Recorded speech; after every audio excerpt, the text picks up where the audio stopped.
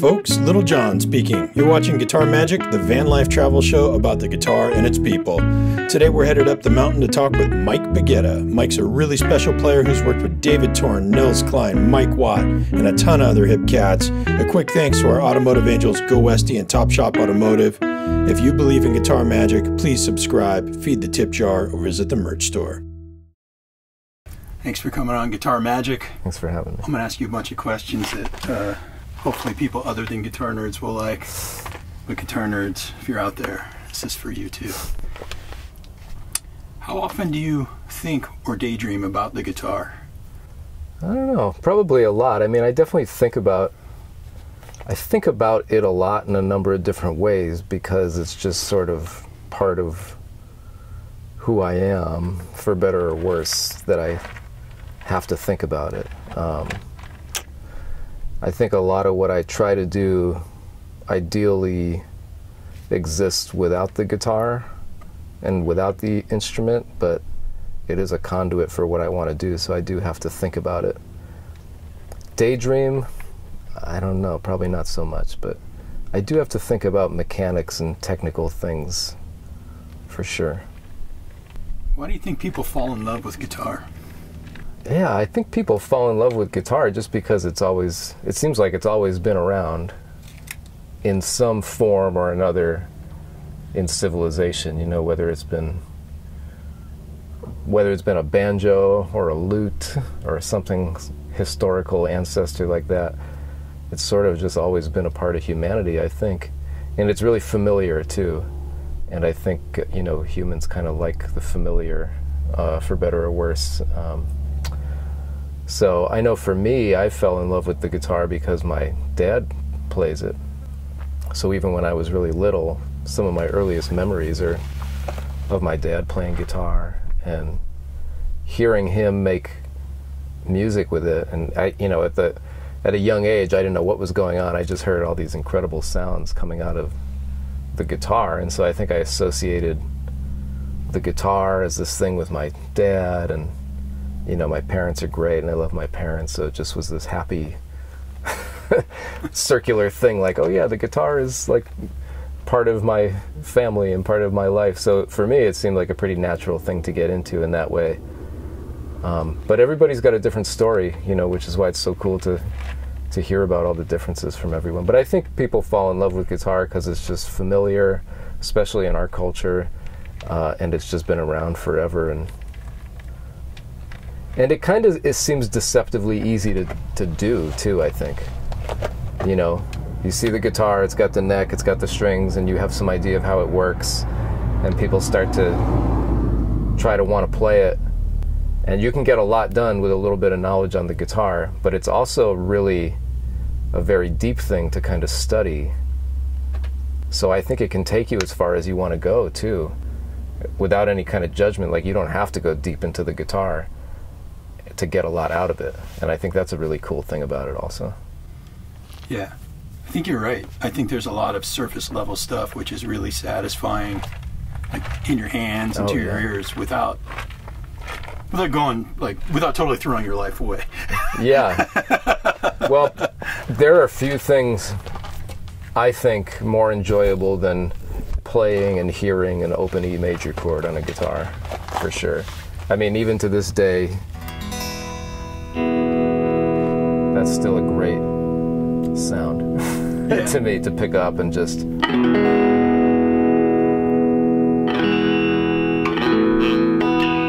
Whatever you want to go from there, you know, it's a great place to start. Yeah. I was talking with my old man two nights ago, and uh, every year I do a Christmas tune. And I said, I think I'm going to do it in E. You know, and all the jazz He was like, why not F or B flat? And he said, yeah, well, E makes sense because, like, the guitar does that really well. It's right there. It's ready to go. Yep. Yeah. Can you tell me about one of your magic moments with the guitar where you just, something happened and you realized, oh shit, this is, this is something? Yeah, actually, I can remember the first one, which again kind of goes back to hearing my dad play and watching him play. Um, he had he had sort of like a wedding band, pop band kind of thing, and so he would be he would be out doing two or three shows a weekend. I remember when I was young, and you know he would come home late at night. I'd already be asleep, and I'd wake up in the morning, and like the amp would be in the kitchen. It was one of those big Roland JC 120s, and um, his Les Paul was in the case, and it and it kind of smelled. You know, it definitely. This is we're talking the 1980s, so everything sort of stank like cigarettes because everybody was smoking inside still. I think in those days and I was little. I didn't know what it was. To me, it was like the smell of a guitar amp at a guitar case, you know. Um, and uh, so I would come out and I kind of see the stuff. And I remember he would, he would be up, and I would kind of bug him to play something. And uh, I remember he would plug the guitar into the amp, and he would sit on the amp, and he would play. Yeah, I don't even remember what he would play really, but he would play something, you know, like.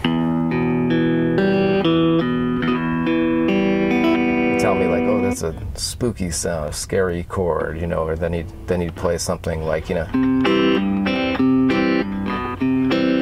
and just tell him, you know, there's a happy sound. And I was so little, I was like, yeah, that's right, that's amazing. This guy just made made me feel sad with the sound, and then made me feel happy with the sound with this instrument, and that was like blown away thinking like how in the world is this possible? You know? And so definitely that's something that's that's stayed with me throughout.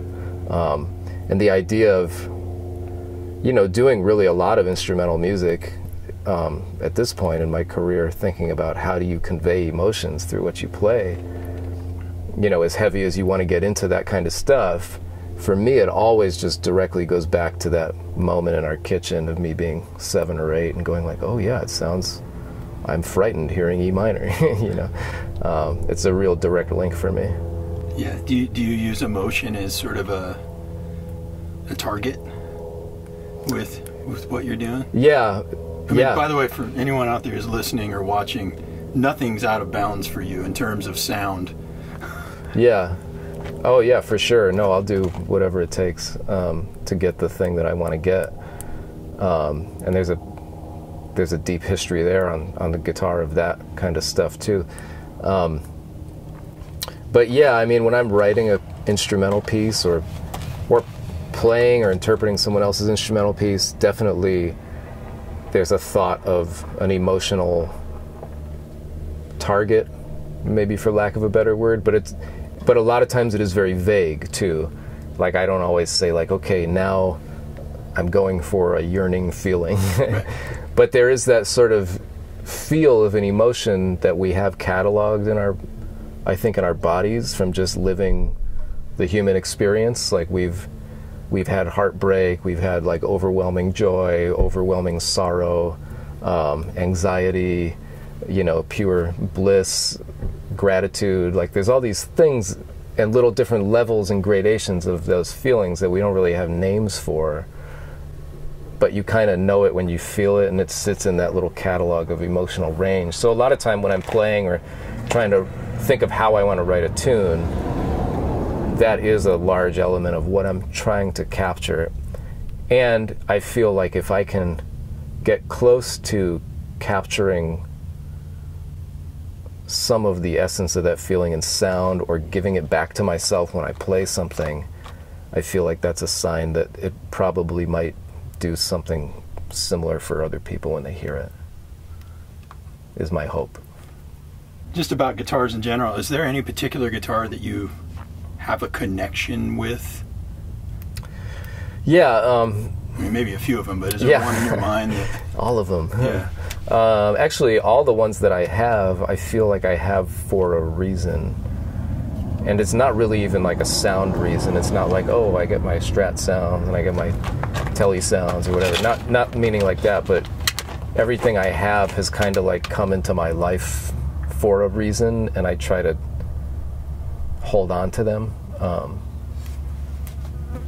so I would say all of them. But if I had to just pick a, couple, and I don't have a ton of guitars, you know. Um, I know there's people out there that are like 20 guitars and way more. Um, I have like seven, eight if you count a lap steel, which I do. Um, so I don't, I don't think I have like a lot, but um, the stuff I have, I feel like it's come to me. So I have this guitar here is the one I'm traveling with on this trip, which is a new um, Tornado made by Saul Koll, and I have another Saul Koll guitar, and those are very special to me because I feel like these instruments. I don't have to worry about anything. I feel like they are very clearly connected to the way that I play and everything I want a guitar to do, and they have the ability to do things that I didn't know I wanted them to do. And ideally, when I have a connection with an instrument, on some level, I kind of just forget that it's there and I'm just doing the things that I'm doing. Oh, there happens to be a guitar there. Um, that's something I really go for, and the, the Kolls are very big into that for me. But if I had to pick one guitar that was like really special, I would say that it's again going back to my dad. His um, sort of first nice guitar, he called it. It was a, it is a Gibson L4C, like a sort of smaller body arch top. I think it's um, late 50s. I don't remember the exact year, but I, I swiped that from him. Um, thankfully, my dad's still around and still playing. Uh, but definitely, I confiscated that instrument from him with his blessing, uh, I think, um, a number of years ago. And so it's funny because I'll never take that guitar out to play. I mean, there's so many things about it that kind of on paper don't really work for the way that I play a lot. Um, you know, it's a big hollow body, it's going to feed back. There's no whammy bar, which has become a part of my style. Um, but it just plays so great and has such a deep character to it. It's always by my desk, and it's really the guitar I, I play all the time at home. Um, you know, uh, most of the songs I've written have been written on that. Um, a lot of things I've worked out have been on there. I have recorded like overdubby kind of things at home with it, um, but that would be kind of the. If I had to pick one and, and a fire to get out of there, that would be the one I would grab. Yeah, sentimental value. It also sentimental value. things. Yeah, sentimental value that is also turned into like a, a real a guitar that's given me so much of my own on top of that. Yeah. yeah. Well, you already mentioned your dad as being a guitar player and uh, you know part of the whole the beginning of this mess for you. Yeah. Uh, did you have any? would- Did he act like a mentor in the music world, or did you have other guitar mentors that helped you sort of figure out where yeah, you were at? I, I've, I've had so much help. um, I feel like there's been a lot of people. Um, I can only, but I can only blame myself. um, no, my dad for sure. Yeah, I mean, he showed me like basic stuff, and but beyond that, you know, my first gigs were with him on that that wedding band thing. I think, you know, he would take me along once he saw I could kind of do some stuff, and I would play with him. And I remember we'd be playing songs and he'd be next to me and he'd go, okay, G. And I'd play G and then C major and I'd get to C real fast, trying not to mess it up and embarrass him. And then uh, I did that a few times and then I think he was trying to maybe phase himself out of it. So then he would just send me in his stead to do the gig. And that was kind of cool. I felt like, oh man, here I am like probably 15 or 16 playing with these older guys and not really messing it up too bad. So that was a real cool feeling for me. Um, so he definitely gave me that first experience of feeling like I was able to hang with, you know, real pros that have been doing it for decades. So that was a real, real like positive push for me. Um, but just to, I mean, I feel like there's hundreds of people that have helped me so much to find kind of the important things in music. But you know, real just briefly, the guitarists.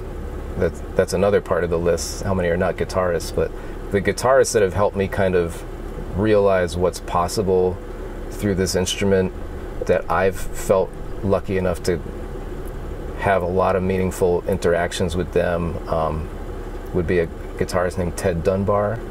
He uh, was one of the guys I first took actual lessons with, um, and that was when I went to college. Um, and if you don't know about Ted Dunbar's playing, such a heavy, deep improviser. He was in one of the earlier versions of Tony Williams' Lifetime Band. Um, I mean, among so many other things. But he really taught me about all the capabilities of the, the depth of knowledge required to play the instrument, uh, and just about kind of the depth of what improvisation could could be in general. So that was a big influence. Um, definitely uh, getting to know David Torn uh, a little bit and considering him my friend and definitely my mentor. Uh, hopefully, he won't cringe at, at me calling him that. Um, but especially in terms of kind of exploring the the tremolo bar and the guitar, the vibrato system as a very important way to kind of get a, get deeper into vocalizing with the instrument, getting a little bit closer to that human feel, and all of the huge variety of things you can do with sound through the instrument and through effects and live processing. And again, just the depth of emotion possible in playing. Um, you know, Torn has definitely been a huge influence on me for that, and, and uh, so high up on the list also would be uh, Nels Cline, who's been really helpful in a number of ways to me and very encouraging. Um, you know, I mean, the list goes on and on. Henry Kaiser definitely been hugely helpful and influential for many years before I met him, but also just very encouraging and and very generous with his time and knowledge. Elliot Sharp, another guitarist, that's been really helpful and encouraging with his expertise and time and knowledge and you know i, I kind of hate going through the list because i know oh there's like 300 other Yeah. people i should mention but just off the top of my my head i mean those are the ones closest to my heart that definitely left a big influence on how i think about what i'm responsible for sometimes yeah responsible for it. yeah i mean i don't i mean i keep it loose i'm not putting a large weight on my shoulders but you know i do think about it that way a little bit Yeah. Did you have a certain, you know, I can't turn back moment with guitar? I mean, everyone, you know, at some point in college, they pick up a guitar, they've got a neighbor, and they, they sort of hold one. But then, did you have that point where you said, I, I got to go all the way with this? Yeah, I mean, I think it was pretty early. I think it was in high school, you know, like when I started to kind of realize that I was mostly playing guitar in my time. And, you know, I mean, I wasn't like flunking out. I always got pretty good grades and stuff. But, you know, it's back to your question, like thinking about, definitely at that age, I was thinking about the guitar a lot. You know, I remember like being in class and thinking about songs I was trying to learn on guitar and trying not to forget songs and stuff like that. Um, so I mean, just really early on, I kind of I don't think it was a big realization. I think once I was kind of playing a lot, I was like, oh yeah, I'll just keep doing this. you know, maybe to the chagrin of my my folks early on, but I, but I mean, yeah, I, I think I knew that I, it was just a thing I was going to do. Um, but then, you know, I I moved to kind of northern New Jersey to go to school at, at Rutgers University, and I mainly went there, A, to study with Ted Dunbar, who was teaching there, but B, it was really close to New York City, and I grew up in western Massachusetts, which, you know, had its own cool scenes kind of stuff here and there, but um, I wanted to kind of be around some big time energy in the music world. And so if you're from the Northeast, you just think like, oh, New York, right? So I wanted to kind of be around that, so I moved down there and you know got to meet a lot of people and had a lot of great experiences. Um, and I moved. Well, I didn't move to New York. Well, I moved to yeah, I did. I moved to New York for a minute after college. Then I moved to Jersey City, which is right across the river from Manhattan.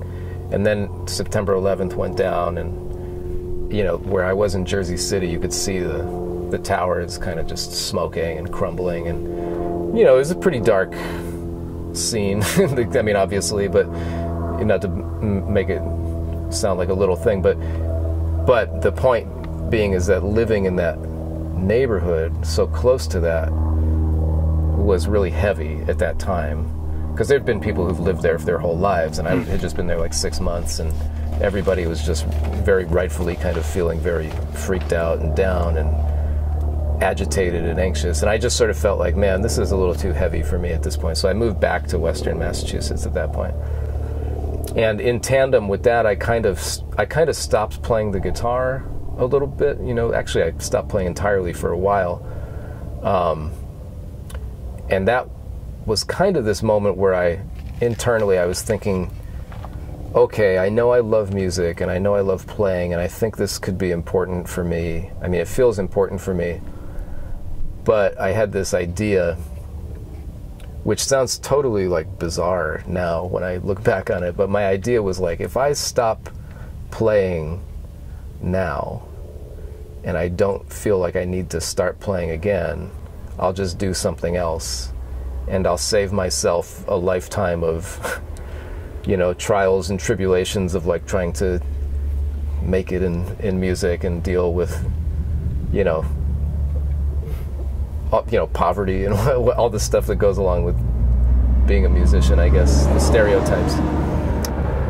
And so I, and then I figured, well, if I do start playing again, I'm only going to start playing if I feel like I have to play, and then that'll kind of make the choice for me. So that's kind of exactly what happened, and you know, there wasn't like a strong control thing in, in this research. I just sort of packed the guitar up and did whatever for a while. I was delivering phone books and all these stupid jobs and stuff. Um, and I would come home and I would just sort of one day I just picked up the guitar and I was trying to I think I was trying to like just learn a Bob Dylan song or something. And I had the record going and I was trying to figure out the chords. And that was it. And I pleased myself with being able to play along with this recording. And then I went back about my business. But this started happening more and more frequently where I'd come home because I was still listening to music at work or whatever. And and we'd get into it and would learn the song. And it was only for the reason of learning the music because I wanted to just give myself that joy.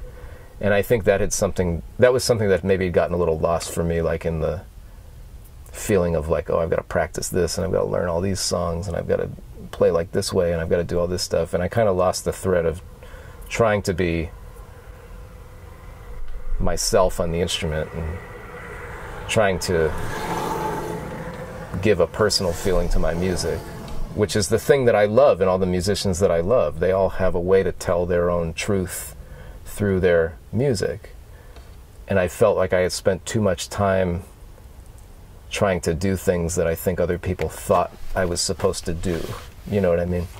So, in a way, this kind of gave me back this true joy of like, oh, yeah, you can just do whatever you want with music because that's what is the joyful thing and that's what will translate. Um, so, anyways, this went on and on, and I started playing more, and I realized, like, oh, yeah, I did this thing, and I'm back to playing, so I guess I have to do this. And then I actually moved back down to New York City and stayed there for about 15 years at that point. Hmm. So, I mean, you said that you quit playing for a while and it just kind of worked its way back in, wormed its way back This is maybe about a year. Yeah. Yeah. Um, do, I mean, since then, uh, do you, you ever feel like you have a hard time balancing your regular, you know, your life outside of guitar with guitar? Or is. Yeah, or I does mean. feel like a healthy symbiotic thing for you? Uh healthy. yeah, I mean, I'm not, I'm constantly obsessed with my music and playing and making music, but I've also gotten more relaxed about the idea that I don't have to do it every day at this point. Um, there's a certain amount of ability I can rely on that I'm less stressed about having to do all my exercises every day. I mean, that that definitely falls by the wayside for periods of time. But um, I don't. I've gotten a lot better about not putting that pressure on myself. Like, okay, I've got to get all this stuff done today, and I've got to get three hours on the instrument. Like, I've definitely chilled out with that over the past several years. So yeah, I feel like it's it's cool. You found a way. Yeah. Found a way. Well, I mean, the way is that like if the music you try to make reflects your life, you still have to live your life. You know. That's some gold right there. it's a. I think it's actually a paraphrase. When I was in college, a bunch of my friends and I went to that record, that duo record of Herbie Hancock and Wayne Shorter had just come out. It was called One Plus One. Awesome record, and they were playing at Princeton University, and a bunch of us went down there to hear this concert, and it was like super heavy and deep and amazing and one thing that was really strange was there was a bunch of people walking out in the middle of it. Like I can't imagine why people would split on that show, but whatever. Um, so we were there for the whole thing. They probably played like I think they played like two and a half hours or something. It was amazing and it was so heavy. And then afterwards, we were like in the lobby, you know, a bunch of like 19, 20 year old mu- music students going like, "Oh my god, we should try to meet these guys." so we kind of thought we knew like where the backstage was and it's got to be like five or six of us, and there's like security there, and I, I remember specifically we talked our way into this having the security guard just let us roam around downstairs to try to find Herbie and Wayne after this show which seems bananas, but that's what happened. I think the guy at some point was like, "All right, you're not going to do anything bad. Go ahead," you know. I, I don't know if he kept his job or what, but so we go down and we're lurking around and we see a bunch of doors. And I remember we saw a door. I don't know if it had like a star on it, but maybe it did or something. And we knock and the door kind of opens, and it's just Wayne talking to Herbie after the gig, and they kind of look over like really surprised, as they should have been. And they were like, "Oh." who are you? So we tell them, and they go, oh, they just let you down, and we're like, yeah, and they were like, oh, that's crazy. We're like, yeah, that's crazy, but but since we're here, but, but we just we love your music, and we just wanted to say thank you, and we, I think, you know, we were really gracious about it, so I think they were cool as, you know, people people can be. But I remember they were also really generous with their time because this is a really bizarre situation. You just got a bunch of dudes who walked backstage after this really heavy concert, and after you play a concert, sometimes you don't want to. Sometimes you don't want to like talk to a bunch of people. You want to just kind of sit there and go like, "Oh man, what just happened?" You know, and kind of process it. But here we are barging in on their their vibe, and. Um, but they were super cool and they talked to us for like 15 20 minutes they answered all our questions and everything and, uh, you know, we were asking Wayne, like, what should we listen to? And he went into his whole thing about the scores of like old horror films and stuff. And, but anyways, I remember this one thing about Herbie kind of asking us what we do about music. And we were like, oh yeah, we just practice a lot and stuff. He's like, well, don't forget that you got to live your life because otherwise what's your song going to be about? G major? And I remember we were like, oh yeah, that's right. We got to remember that. Yeah, let's write that down. so you know, I and we didn't really go out of our way to try to live that in any particular way, but definitely now I can look back on something like that and realize, like, yeah, I mean that's really true. Like if you're trying to create a song that has some kind of input about a human emotion, and you have a very shallow catalog of human feeling, your songs may reflect that and that could be cool, but that's never been the type of music that's been very attractive to me. Um, so yeah, to circuitously answer that question, if I get a day where I'm busy doing other things and I don't get to the guitar, it's okay because the thing I want to do with the guitar is express my life anyways. So that's like the most profound answer. cool. Um, do you have any guitar regrets? Or scenes you wish you would have you know done differently? Well, not really, because I'm pretty happy with, with everything right now. Lucky. well, you know, there's no, nothing's perfect, but you know, like if you change, there's that butterfly effect. If you change something, what would have changed after that in the course of your life? So, yeah. I, I don't dwell on that stuff too much this is kind of an out there question, and maybe I'm just sort of I'm probing other people because I'm I'm curious if I'm alone. But do you lay like psychological and emotional stuff on the practice of playing guitar or doing music? Um, I don't I don't know. I don't know if I don't know if anyone can really answer that.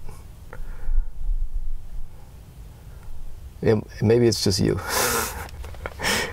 no. Um, no, I don't think I'm trying to. Uh, Hold on, I gotta cry. I think that question says a lot more about you, John. yeah. No, I think I think uh, maybe, but um, I don't think it could. I don't think it. I don't think something like that can bring a person's salvation, anyways. You know, um, but I think it can sort of aid in the search for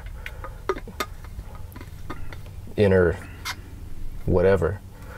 Um, because yeah, I mean, I don't think I lay it on the music, but I think I try to process it through music. That's how I would maybe change the wording a little bit. Um, if I have some kind of crisis happening, yeah, I mean, definitely I know that the guitar is sort of there for me, or in the greater sense that this creative thing that I have always kind of done in some way is there and that's that is really the joy of sort of like um, evolving and manifesting a creative practice over time is that there, there is a familiarity with the process. You know, I don't have a great fear that I'm never going to be able to write another song. I mean, I in the moment I have that fear, like, oh man, I'm a fraud. I'm never going to be able to do this, you know.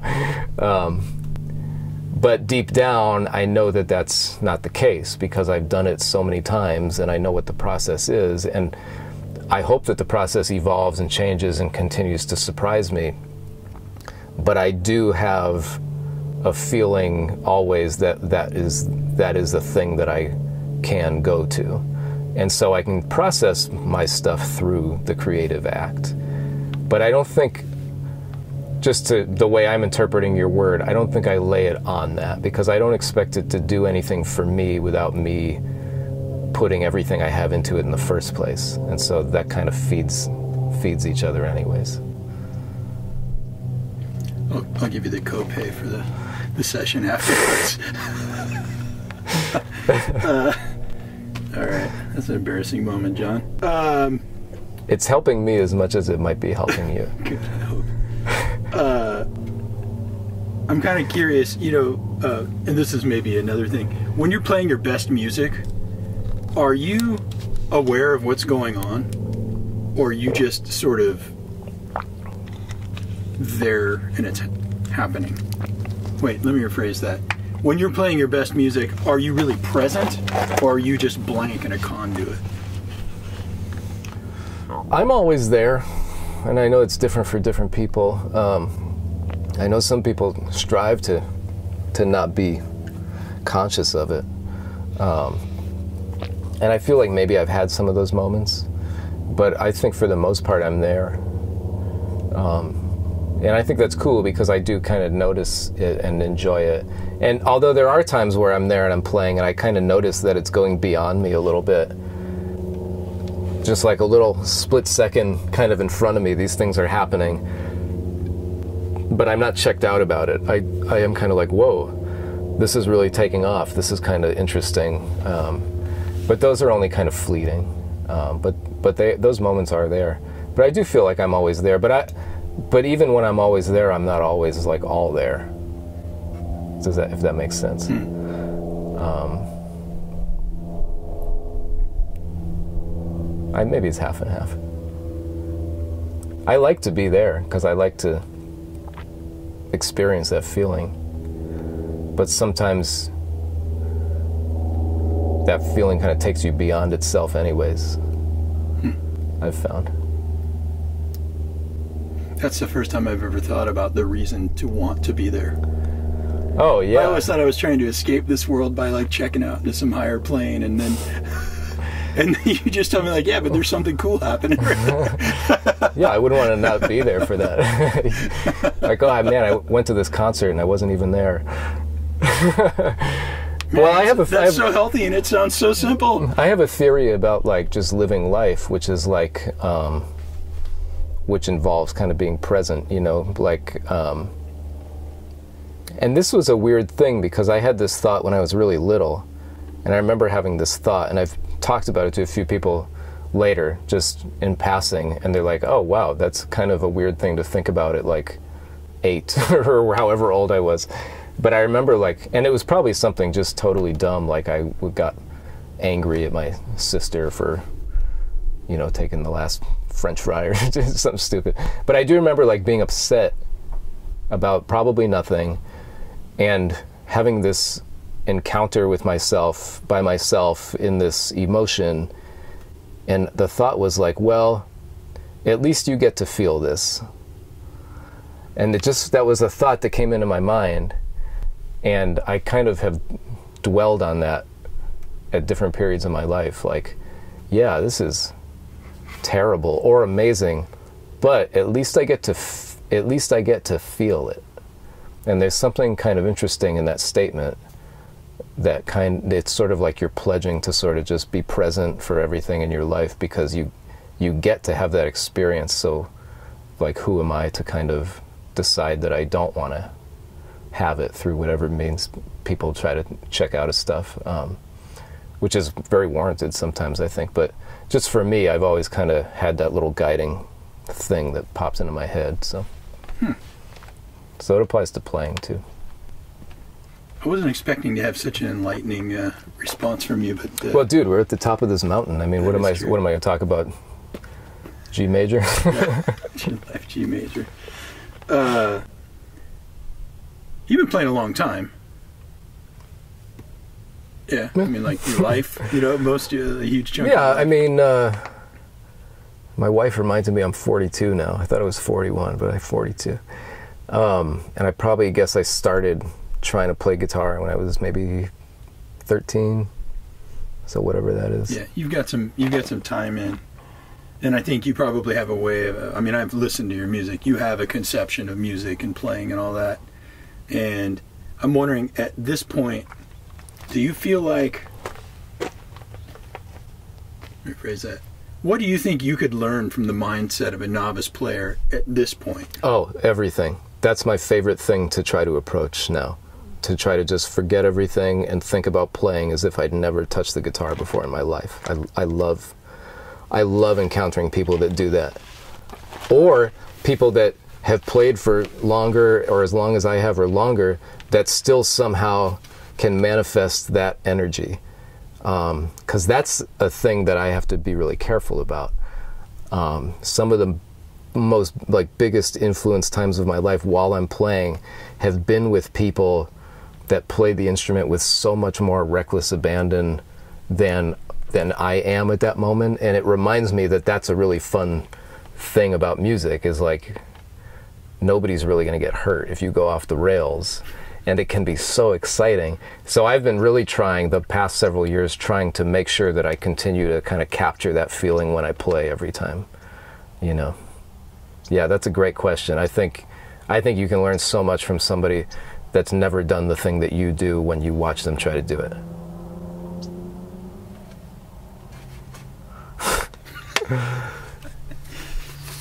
All right. Remember when David Letterman would throw his cards over uh, so, some sort of accessible guitar stuff. Uh, I know that you have a Koll guitar with you here. Um, are you sort of a Koll player, or I don't know, whatever that, or you just play? You like those guitars and you play them? I love Saul Koll as a person, and um, I love the guitars he makes, and I love the way that I don't have to worry about whether or not I could do something I want to do technically with the instrument. Like it's not going to fold under high duress situations. Um, yeah. But this is um, the second one I have. This is a, a tornado model uh, based on a kind of a collaboration between Saul and David Torn. Um, but it's got a few little wrinkles of kind of things that I wanted to be involved in it for me. And um, yeah, it's just what are the unique things that you Well, you know, you like- needed it to do? well, one of the things that's kind of uh, in line with just part, you know, the way David Torn plays and the model is the full bridge cutout so that you can get kind of a large pull on the string. That's pretty much a fourth on the G string. So it's got a large range to that, which is really helpful, and it's very together with the intonation. There's, you know, I barely have to tune it. I mean, like it's kind of a joke, but I barely have to tune the guitar. Like I flew out here and I was in the case for a day, and we drove up this mountain, and I took it out, and it's like totally in tune, you know, um, which is insane. But that's kind of part of his, of his instrument. And uh, you know, Torn has a whole suite of little effect, real time sort of sound processing stuff on his guitar. But what mainly appeals to me is um, is playing less or reminding myself that more benefits come from playing less and being more of a listener. So one of the things that I kept was this um, momentary kind of silent switch. what People might call it kill switch. So if I'm playing too much or playing something that would, it will always benefit. The music I find will always benefit from me stopping playing. this is something I've come to realize over my lifetime. So, um, so anyways, it's been cool to sort of just have this right here, which is in a good spot for me to reach it.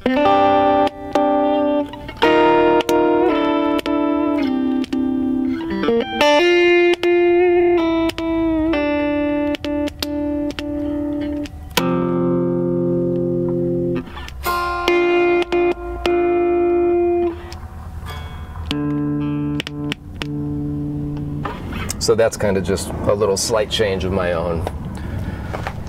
Nothing original, but um, but my other Koll has that as well in the same spot.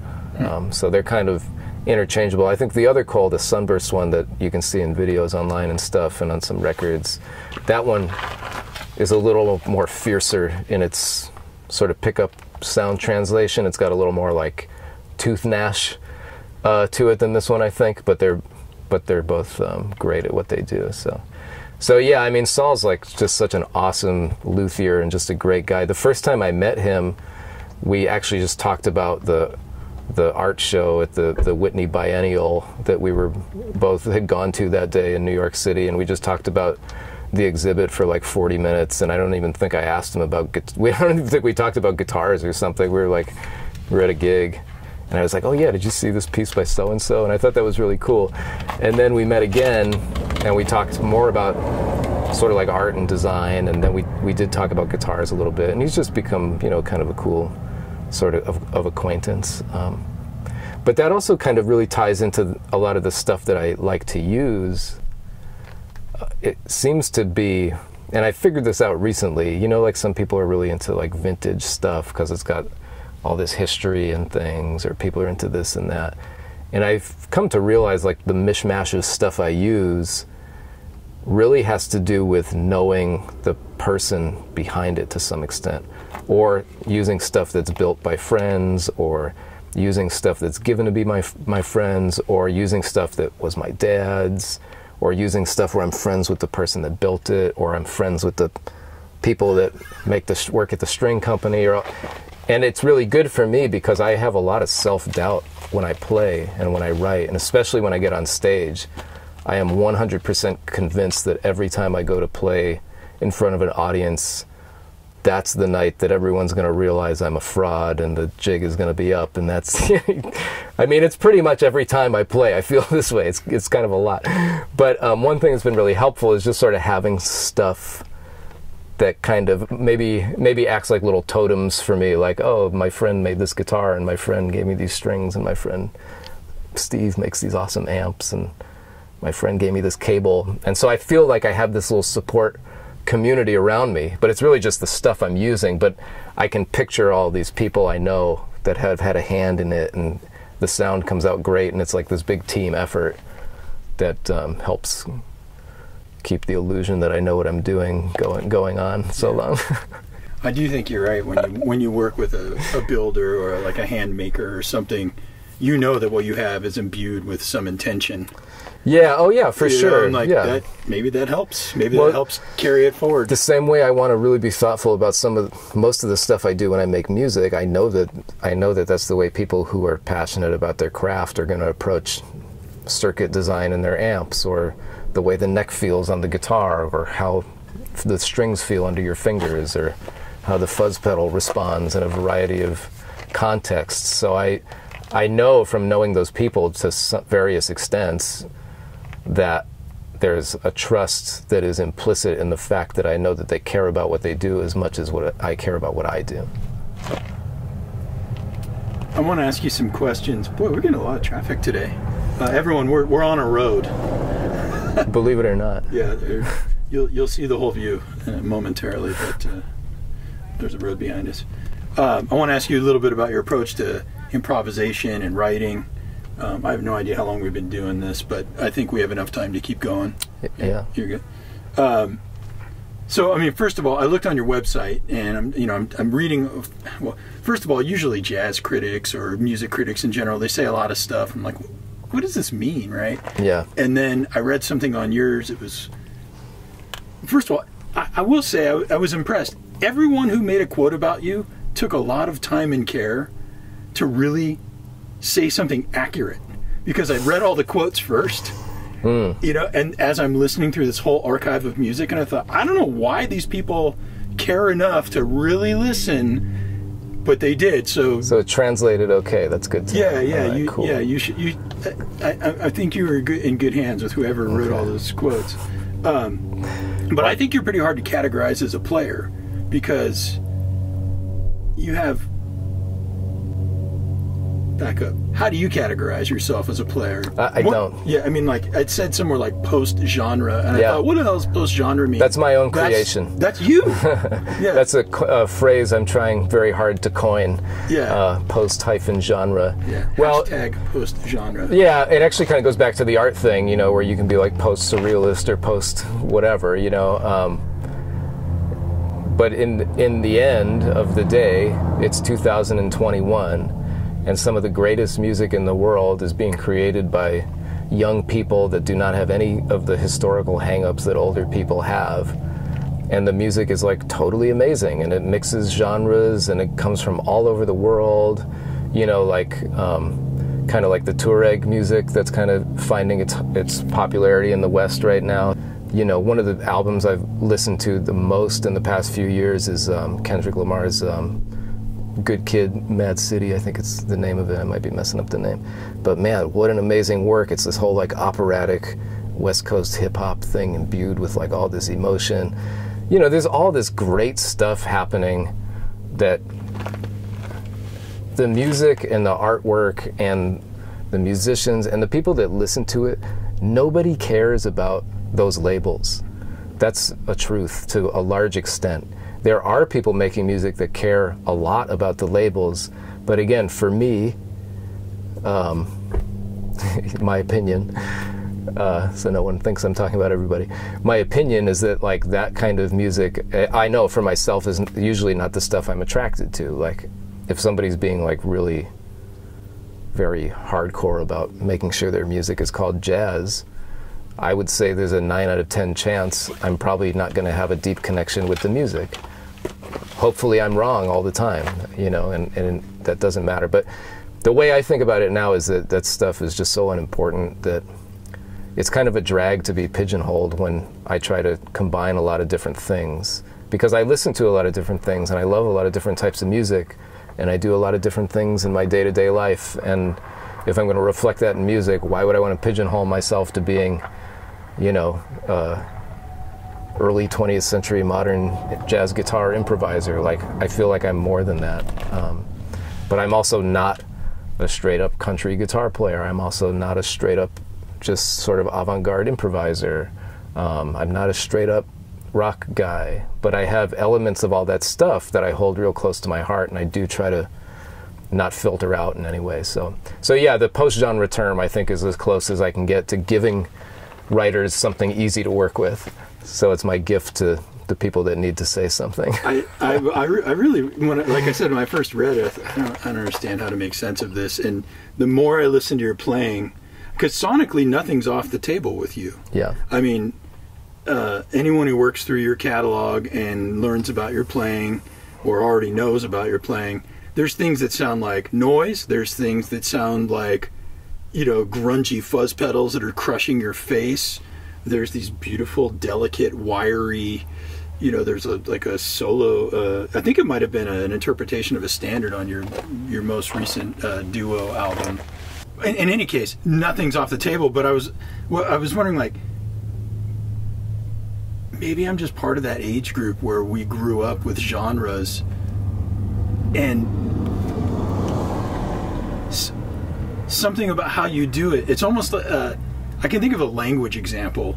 There's some people who speak two languages and they code switch seamlessly, and they have their reasons for code switching. And it sounds like they're speaking maybe a third language, which is the combination of the two. Boy, these bugs are like all up in my face. Desert Fly. Desert flies. Uh, but it, I mean, it almost sounds like you're code switching between genres, but but you're not. Like I think it's like you're thinking in like omni.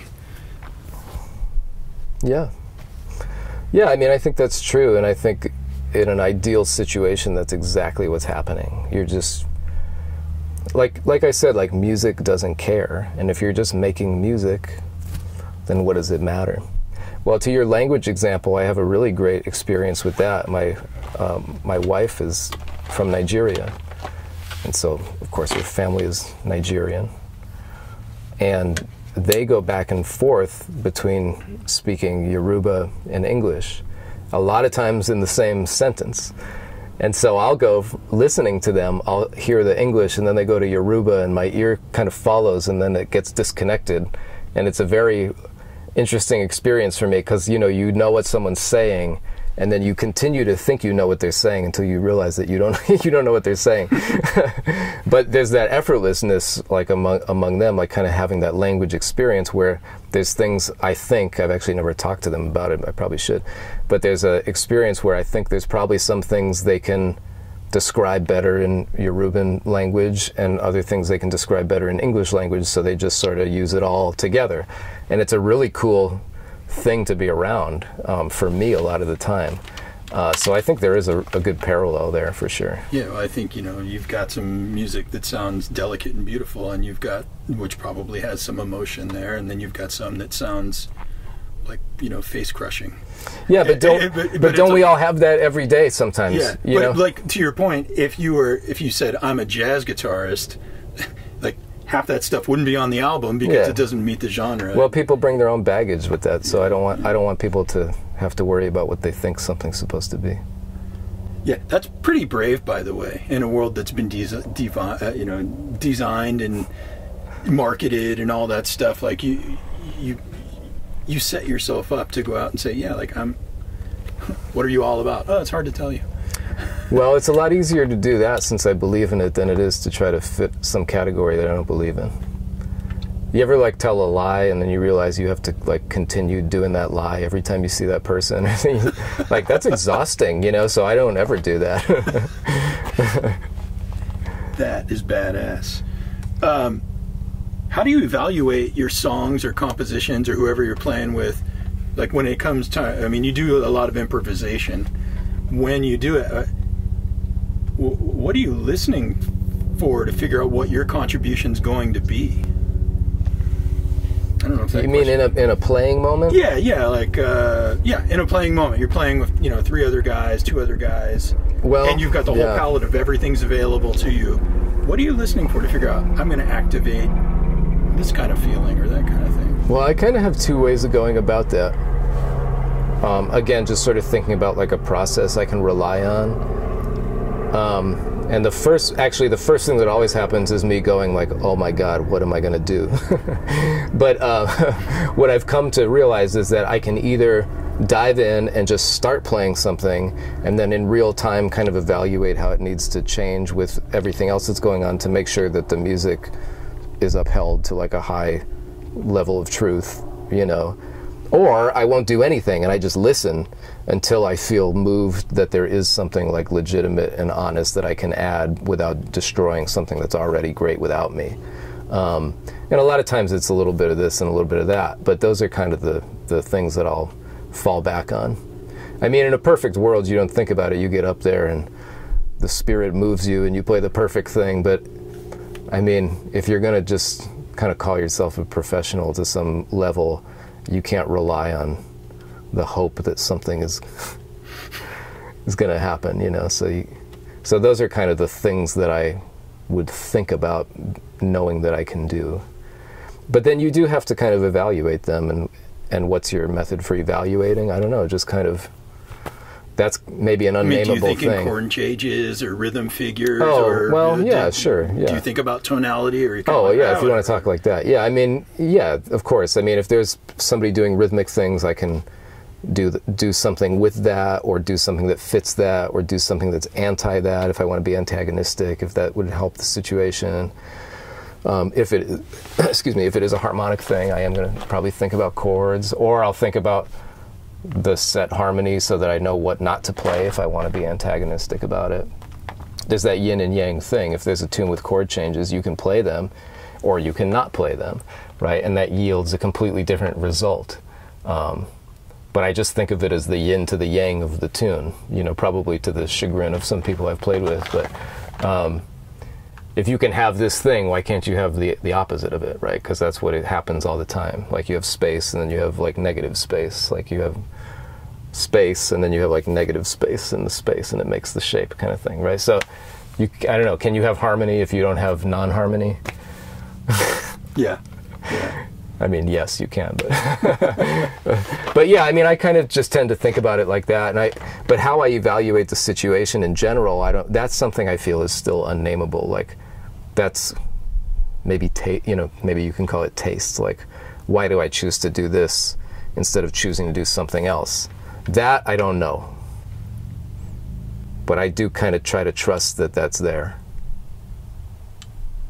So a lot of the music you make uh, and, and the improvising is it's it's sonic. It's not maybe tonal or or harmonically thought out all the time. Maybe maybe I'm misstating that, but what I'm hearing, but I don't think it's accidental.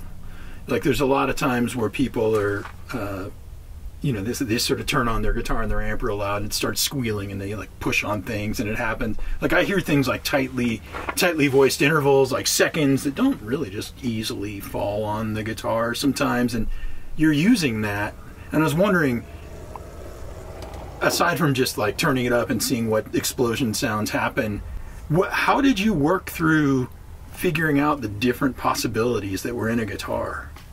It's, well, you told me you had some mentorship on that, but how did what what were you working? Through? Yeah, there's no original ideas for sure. I mean, whether it's like listening to Derek Bailey or Henry Kaiser or you know Brandon Ross or David Torn or I mean whatever. The list goes on and on and on. You know, old blues guys from previous lifetimes or Van Halen or you know, I mean people have just done so many interesting things with the guitar. And I think if I have anything to maybe add to some of that stuff, you know, it's the idea that I can hear something happen and then I can really kind of find a way to practice that so that it kind of goes into this area where it's something that's dependable in some way. I, I don't always want to predict exactly what's going to happen at all, but I want to know that I've worked on something enough that I can kind of know ways to manipulate it. Like a good a good instance is like um, when uh, you know the Michael Jackson song "Beat It," yeah, which has the Eddie Van Halen solo in it, right? Yeah. And there's this the beginning of the Van Halen solo is what is he doing? He's got the tremolo whacking against the body, right? Which actually you can't do on this one because it goes it goes in without touching anything. But I guess if you do it hard enough. Um, but so that's kind of an interesting idea, right? Just to take that little snippet that most people kind of go like, "Whoa, the guitar solo is starting," and it's this amazing solo. But that little moment is really interesting to me. Like, why, why go out of the way to sort of get that thing going? You know, because it's really cr- a crazy sound and it kind of knocks people's expectations out. You know. And so to kind of understand that when you take that idea and you maybe work with that, you start to hear like, oh, there's all these resonances that come out in the body, you know, and it's, it's related to the, the tapping on the neck versus tapping on the body thing. And if you're holding down different notes while you do that, you get different resonances. And if you're on a different pickup while you do that, you can get different resonances to come out. And so something like that is maybe like an idea that you can get from a really famous thing but maybe it's the part of that thing that nobody's investigated before. But you can take that little piece and just see how far you can take it. Um, and that to me has always kind of been a cool thing, especially when if I'm kind of like in that zone where I'm like, oh, I don't know what to work on right now. I, not to say that there's nothing to work on. I never say that, but like, oh, I don't know what I should work on right now. I'll just think about some aspect of the guitar I haven't explored. Like you know, you you know about the the spots where you get like the real easy harmonics on the on the instrument but then you can kind of think about the spots, the little spots where they're they're sort of lesser used, but you can definitely map them out tonally. So you know how to make an E7 chord with harmonics, you know, and you can map that on every string.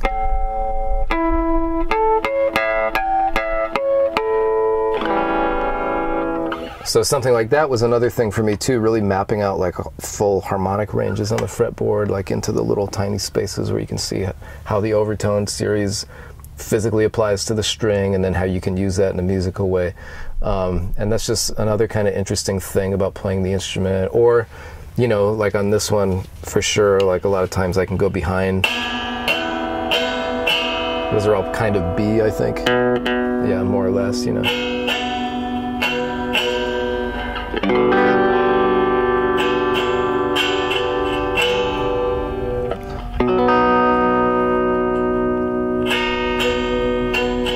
You can find ways to use that stuff harmonically too, you know.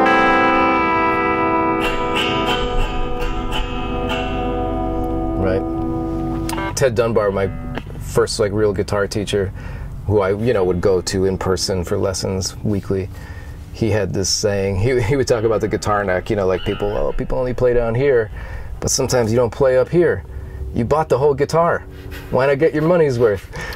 so the idea has been broadened a little bit by me. You know, like yeah, I bought every piece of this thing, so why don't I want to know what kind of sound happens when I get up here and how do you connect that to whatever you're doing? Um, so yeah, I don't think there should be anything kind of off limits. But but yeah, taking ideas and just sort of seeing how far you can take something has been really um, kind of a cool thing for me. Do you do that in other aspects of your life? Like you buy a fish or something, you're like, I wonder if I can eat the tail too. Um, yeah, maybe not like with food so much, but definitely I feel like I'm very inquisitive about things. Um, some people might think I'm over inquisitive about stuff, but I, I do always kind of want to know well, why does it do that? Or why is this thing happening? Or how come it's doing this and not this? Or, you know, how do you get it to change? You know, yeah, I mean, I definitely, where it, where it diverges is I'm not always going to work on that stuff, but I do find that I am always kind of wondering about things, yeah. Do you know where that comes from, or is it just. Not really. I mean, I'm always surprised. Because not everyone does Well, that. I'm always surprised to find out that not everybody does that. so, yeah. so yeah, I, I guess I don't know.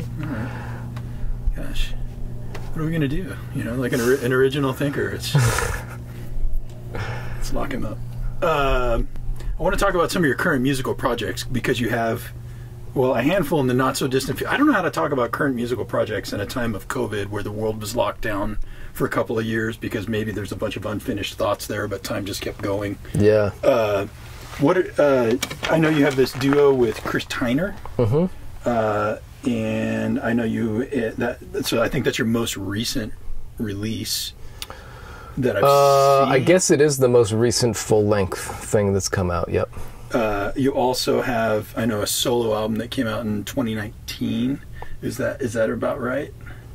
Solo, as in. Like it, well, it was like uh, your name. oh like yeah. Well, that would be the Wall of Flowers record, I Yeah. think, and I, that's kind of a joint group. That's uh, the Mike Baggetta, Jim Keltner, Mike Watt moniker, okay. which is which is very different from my band band, which is called MSSV, which stands for Main Steam Stop Valve, which is me, uh, awesome, awesome drummer named Stephen Hodges, and again Mike Watt on bass. Yeah. I mean, you're in California right now. Uh, it sounds like you're touring with this duo a little bit. Yeah, we're finishing up the album release shows with the duo with Kris Tiner, which we call Tin Bag. Um, the album came out in the spring, as kind of was originally planned. And what you, people usually do is you put a record out, and then you play some shows, and you you know play the music, and maybe sell some records and tell people about it. So we never got to do that. So this is sort of the late kind of album release tour, and it's a great project to sort of dip our toes back into traveling for making music because it's just two people, um, for better or worse. What do you think are the unique advantages and limitations of that? Well, I think one of the cool things about it um, is that it can kind of force you to rethink the role of the instrument, kind of the generalized perception of what's going to happen. Uh, I like messing around with that, like thinking about if people see, in this case, guitar and trumpet, or if they see like guitar and drums or voice or any kind of any kind of grouping of instruments. I find, generally speaking, most people will have some kind of preconception from what they see. So I think what's really fun is trying to mess with that and trying to kind of, you know, because then you might be able to make people leave a show with an idea that maybe their perception can change about other things too. You know, I seem to kind of always get back into this grand idea of like what music could be or whatever, and I don't mean to necessarily, but I think something that's cool about that is people coming to something expecting one thing, getting another, and then leaving saying like, "Wow, that wasn't what I expected at all," and in fact, it was even better than I could have ever imagined. But then I always wonder how much of the next step happens, which is like, do they apply that thinking to every other aspect of their life? You know, um, which hopefully results in like more open-mindedness about everything. I gotta say, I mean, a lot of what it just you as a person, it sounds like you're doing a lot of thought experiments all the time. With Yeah, but I, I mean, I'm not like, it's not like I'm in my lab furiously cooking up some amazing conceptual, you know, I just sort of think like, okay, what would be cool to try now? It's a good, healthy curiosity. I mean, there's a lot of fails along the way too. I'll be the first to admit that, which I think is pretty important. Um, you know, if you try a lot of stuff, there's a lot of stuff that's not going to be cool or like that I would think is maybe not exactly what I was going for, but but that's why you do a lot of work, right? Like if you talk to any kind of great artist, I think they are constantly making stuff, but they're not sharing everything. You know. Yeah. I mean, there's guys in studios like just playing all day long, and maybe at the end of the week they get like one or two really cool sounds they're going to use in something amazing, you know. And now, uh, MSSV, main steam stop valve. Like this is, you know, I listened to it top to bottom. That's, that's not helping with the bugs. Uh, shower was a strategic mistake. MSSV. Uh, these are like, this is another thing. Is how, how did you find this community of players? So, for anyone who doesn't know, you you don't live here in California Nope. you were you were started on the East Coast, and then you wound up in Knoxville. hmm I don't know how that happened. Maybe that's a story too. And then, and now you've got this whole like these are. Some And now I live in Gainesville, Florida. so how did you get hooked up with all these California guys? Like some of them are you know like, well they've all played with really eclectic people, and some of them are punk rock legends. And how did this grouping come together? How how do you how are you networked all these? Well, yeah, it's kind of a long story, but the short version is I first met Kris Tiner, the trumpet player in the Tin Bag Duo, when we were both in college, and he's from out here, and I think he was going to Cal Arts, and I was going to Rutgers, and we met at this thing in Washington D.C. for like young musicians or whatever. And uh, you know, long story short, he ended up putting some gigs together out here, and this has got to be maybe. I mean, I want to say it's like 19, 1990, or maybe it's like 2000, 2001 or something.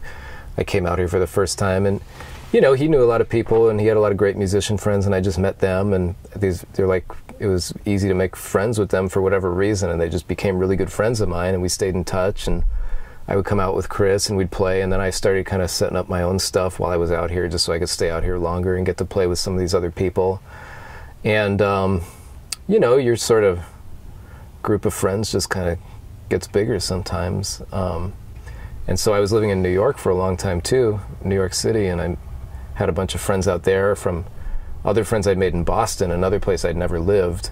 But I have a lot of friends that were kind of in Boston for a while. So I do have this benefit of like a lot of people don't really know where I live, which I think is kind of cool. Like, and actually, I don't correct people a lot of times. I just kind of let them think what they want to think. But yeah, I've never lived out here. I've never lived in Boston. Um, but uh, yeah, so anyways, the MSSV band came together because a, a friend who I'd also met peripherally through Kris Tiner. His name is Chris Schlarb, and he's an amazing, amazing musician, songwriter, engineer, producer, studio savant. Uh, artist, and he uh, he lives in Long Beach, and he runs Big Ego Studios and Big Ego record label, and he runs a great band outfit. Do you still call a band an outfit? he runs a great musical outfit called uh, Psychic Temple, um, which I've gotten to play with a little bit, and who I've also made a lot of other friends through through Chris Schlarb. Um, and so, anyways, uh, Chris Schlarb and I had met and become fast friends, and he was starting a record label, and he asked me if I'd want to record something for the label. And I said, yeah, but I want it to be something really different from anything I've done before. Um, which at that time kind of meant, in a way, kind of meant maybe trying this thing of just sort of calling some musicians I had never met to try to make some music together. And I had never done that. I'd always made records up to that point with friends. You know, like you get you make friends and you play music and you're like, oh, this is fun. You start a band, you do some shows, and you're friends, and then you're like, oh, we should make a record. That's how I'd always done it. But I was having, and that was always the way it was very comfortable for me to do. It was very frightening to think about like calling someone you don't know, and also it kind of seemed a little bit like a like a shill kind of thing in a way, like in my more sort of like jaded side, like, oh, why are you just gonna call some dudes you don't know to make a record. Like, how real is that? And I always had like a chip on my shoulder about that to some extent. Um, but it's not always it's not always a thing to like flex on to do that. I don't think.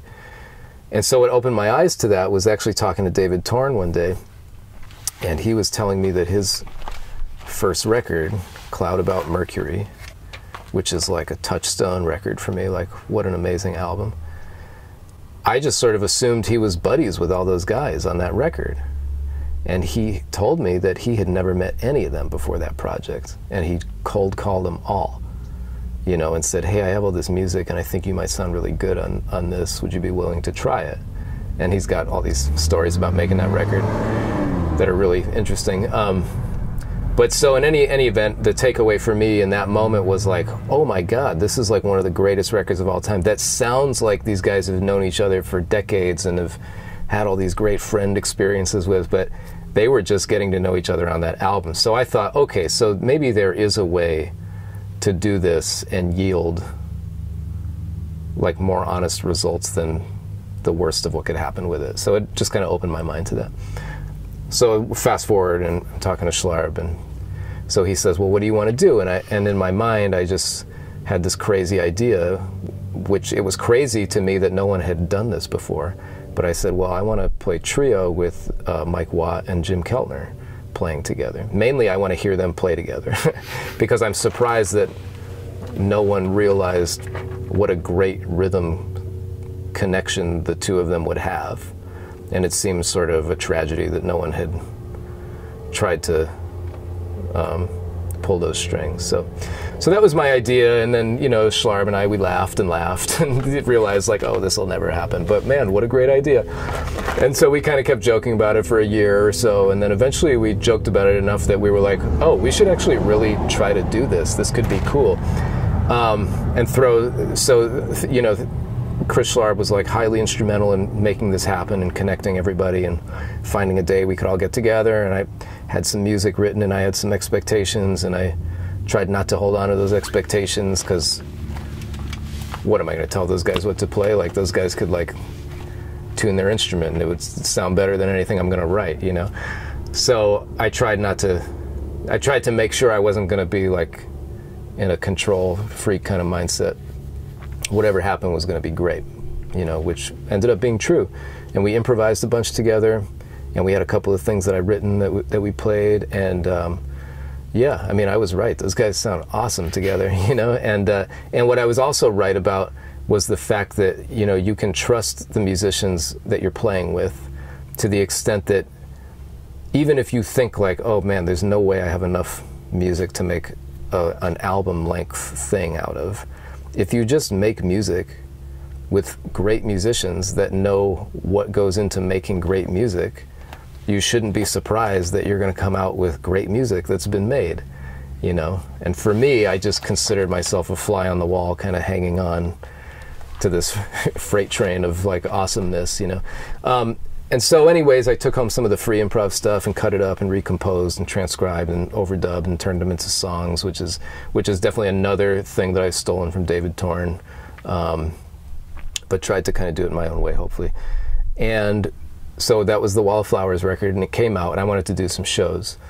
And so I asked Watt if he would want to do some gigs, and he said, of course, which was really generous of him. And then I asked Jim, and you know he he doesn't really travel much anymore, and that's very fair. he said, you know, many many decades of playing with everybody in music, playing so great with everybody in music. But so yeah, that was no problem. And so, but then I went back to Watt and I was like, well, I don't know, is it weird to get someone else to try to play some of this music? And he said, no, you should just think about who you want to do. I mean, I'm down to do it, and maybe it'll be something. Maybe it'll turn into something else. And I hadn't really thought about that. I was like, oh yeah, okay, we'll see. So I thought, well, if I have to pick another drummer to sort of think about this, I might as well stay with this idea of like people I don't know. And so the next person I thought of was Stephen Hodges on drums. And it was never a thing, it was never really a thing where I thought of him as he was going to sub for, for Jim Keltner. It was this thing of like, well, we have a chance to do something more and to move this music into another zone. And that'll be really interesting. So I talked to Stephen, and I thought of Stephen because I loved his drumming on so much, so much music. Um, you know, from Mavis Staples group to the early Tom Waits records he's on to the soundtrack work he's done with David Lynch and on and on and on. He's like just such an awesome musician. But he is the drummer on Watt's first opera called Contemplating the Engine Room. And that album had a really profound impact in my life before I met any of them or ever dreamed I would meet any of these guys. And also, our friend Nels Cline plays guitar on there. And that's the trio it's Nels and Watt and, and Hodges. And so from that, what I knew was that Stephen and Watt had some relationship, but what I really knew was that Stephen would be really comfortable with this idea of not worrying about the genre of things. Because that album, Contemplating the Engine Room, that's an album that also kind of opened my eyes to that idea. Like, here you have a band of only three people, and they have made a cohesive sound and a cohesive statement on an album through the music that Watt put together. But they are not restricted by any kind of genre, style thing. I mean, they traverse the entire territory of music on that record. And it was kind of, and I had started thinking about this stuff when I first heard the record in like 2000, 2001 or whatever. And I remember hearing it going like, oh my God, they did it. you know, so, and then I was like, I'm not crazy, see? um, so in my mind, I was like, well, man, if Hodges would do it, that would be awesome. And luckily, he said yes, and we did a 10 day coast to coast US tour in early 2019 10 cities in 10 days, flights and everything. And halfway through, at one point, we were like, So, what are we going to call this band for the next tour? Actually, Watt asked me, So, like, what are we going to call this band for the next tour? And I was like, and I realized at that moment, I was like, Oh, yeah, okay, we should do that. and luckily, everybody was into it, and um, we did another tour at the end of 2019 which was a little another little mini tour, I should say. That was just was it maybe six or seven shows, only in California, trying out new music, and then we went right into the studio for two days and recorded it, and that's the studio album, Main Steam Stop Valve. Uh, and then we booked a U.S. tour, about 50 dates for spring of 2020, and obviously that got postponed. Right. And I have just recently rebooked uh, almost 50 shows uh, for our U.S. tour this spring, March and April 2022. Yeah, it looks like a massive, massive set of shows. Yeah, it should be fun. Yeah. If someone wants to find out more about you or any of these bands, what's the best place for them to go looking? And yeah, th- I mean the internet is great for that. Yeah, I've heard of this thing, Google. Yeah. Um, I mean, there's websites too, which I think is really important. Like some people only have everything on Spotify and Facebook or whatever, but um, but you know, if you have the website, you kind of own the whole thing. So, anyways, there's mainsteamstopvalve.com is the website for that band. You can always go to mikebaggetta.com also, which is sort of the general home for my universe of things, and you can link over to MSSV through there. Um, there's also tinbag.net uh, if you want to see what's going on with that group. And all the records and all the music is available on Bandcamp. That's a really cool platform that we use. I like Bandcamp, and I think Yeah. artists make more money there than they do in any most of the other places. Where It's just really painless to use, which I think is the highest priority for me. Um, and then if we're playing shows, we've always got stuff at the shows. Um, there's a lot of stuff happening coming up soon with MSSV, so it would be cool to if people want to keep track of that. We have a bunch of seven inches that we recorded. One of them came out on an Italian label. That's available now, and we'll have that on tour. And there's two other seven inches coming out in the next couple of months. Um, and the uh, MSS, the main steam stop valve records, almost sold out, so we're getting a repressing done for that in time for tour also. So there's a lot going on. Excellent. Well, I really appreciate your time. Yeah, no, thanks for Uh, having me. I think what I'm going to do is I'm going to, if you want to play some guitar or something for a minute, I got to pack up all these things and tell all the people driving around to stop driving into the shop. Okay. And uh, thank you. Thanks, John. Really appreciate it.